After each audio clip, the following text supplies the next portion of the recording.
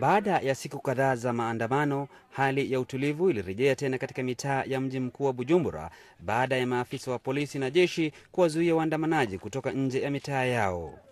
Na kama ilivyotarajiwa, mahakama ya kikatiba nchini Burundi hatimaye imetegua kitendawili cha ikiwa Rais Pierre Nkurunziza atawania muhula wa tatu au la.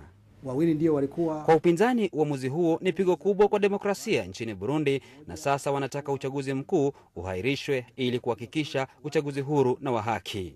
tutaendelea kutetea uheshimishwaji wa katiba yetu na mkataba wa Arusha. Tuko radhi kumsin- kumsindikiza Rais Nkurunziza mpaka amalize mihula yake miwili mwezi wa nane ujao, lakini hatutokubali aendelee kuwa rais wa nchi hii. Tunaomba jumuiya ya East African Community na jumuiya ya kimataifa kwa ujumla wasaidie ili huu mwenendo wake pita ukomeshwe mara moja. Lakini kwa chama tawala ni habari njema, na wao wanasema hatimaye haki imetendeka. Uamuzi ulikuwa unahitajika sana. Wananchi hapa nje walikuwa eh, walikuwa naomba wajue ukweli uko wapi, lakini kusema kwamba kwamba wameshinikizwa eh, ile koti kama inashinikizwa, hiyo si ukweli.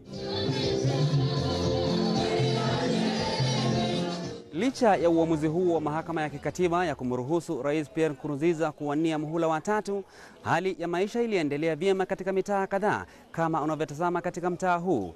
Lakini katika mitaa mingine vijana waliasha mioto na kuweka vizuizi barabarani. Kinyume na ilivyotarajiwa, raia wengi wa Burundi hawajashangazwa na uamuzi huo.